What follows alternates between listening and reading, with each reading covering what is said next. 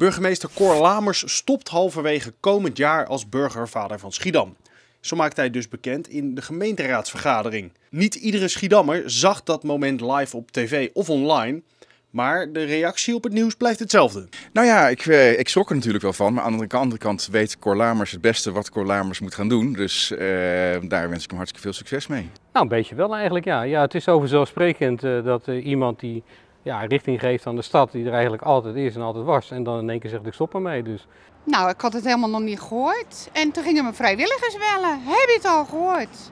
Burgemeester Lamers gaat stoppen. Nou, toen was ik wel even in shock. In shock? Ja, jammer. En uh, gewoon puur omdat wij altijd heel goed contact hebben met burgemeester Lamers. Altijd heel leuk en goed contact gehad. Dus uh, ja, jammer, maar ik gun hem ook wel uh, zijn pensioen. In die tien jaar dat Lamers burgemeester was, hebben de prominente Schiedammers een hoop met hem meegemaakt. En dus rolden de anekdotes gretig over de tong. Ik weet nog dat de toenmalige burgemeester, mevrouw Leemhuis, die uh, las de voordracht voor van de uh, twee kandidaten en uh, de keuze die de vertrouwenscommissie had gemaakt. En toen hoorde ik de naam Lamers en toen kon ik mijn mond niet houden. En toen zei ik, hé, hey, die ken ik. Waarop zij verstoord naar mij keek. Maar het was wel zo. En ik was, uh, ik was daar wel blij verrast mee. Uh, omdat ik hem al kende natuurlijk, hoewel ik hem een aantal jaren niet had gezien uh, nadat hij naar Houten was gegaan. En altijd een prettige indruk van gehad. Dus blij dat hij uit de Hooghoed. Ik ken Cor al voordat hij burgemeester was. Want ik was technicus in de stoep in Spijkenisse. Waar ik ben begonnen in de theaterwereld. En daar was hij in Spijkenisse, de wethouder. dus wij kennen elkaar uit die tijd. En komen heel toevallig hier dan weer bij elkaar. Ik werkend in Theater aan de Schie en hij als burgemeester. En dat vind ik toch een verwantschap wat we hebben. Dat voelde gelijk goed? Dat voelde vooral vertrouwd en goed, ja. Nou, ik denk als burgervader vind ik, vond ik hem altijd wel bereikbaar voor de burger. En dat vind ik het belangrijkste aan een burgemeester.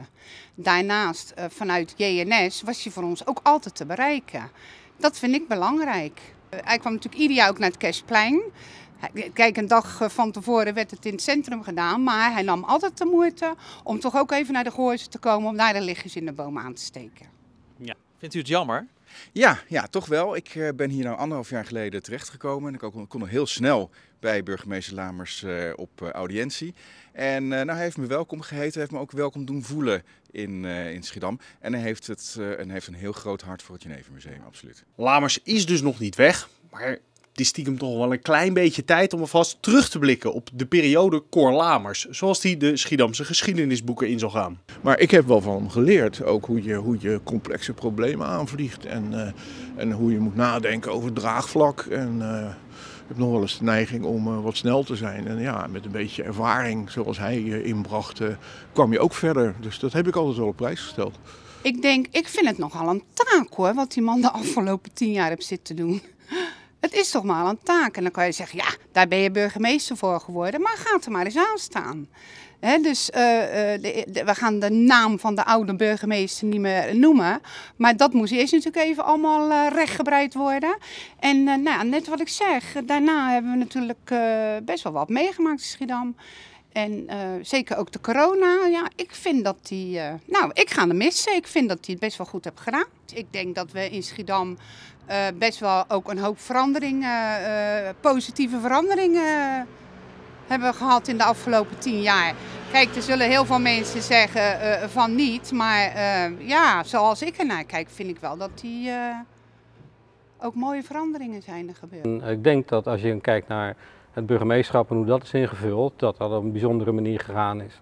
er moest veel gebeuren, je kan niet over een jaar tegen zeggen. Uh, het is een stad in ontwikkeling uh, met al zijn vraagstukken die erbij horen. En ik denk dat hij dat uitstekend heeft gedaan. Je komt hem ook werkelijk overal tegen. Hij heeft een groot hart voor cultuur, zeker ook voor het museum. En hij heeft op zijn werkkamer een indrukwekkende verzameling van onze jenevers. Dichte flessen moet ik zeggen.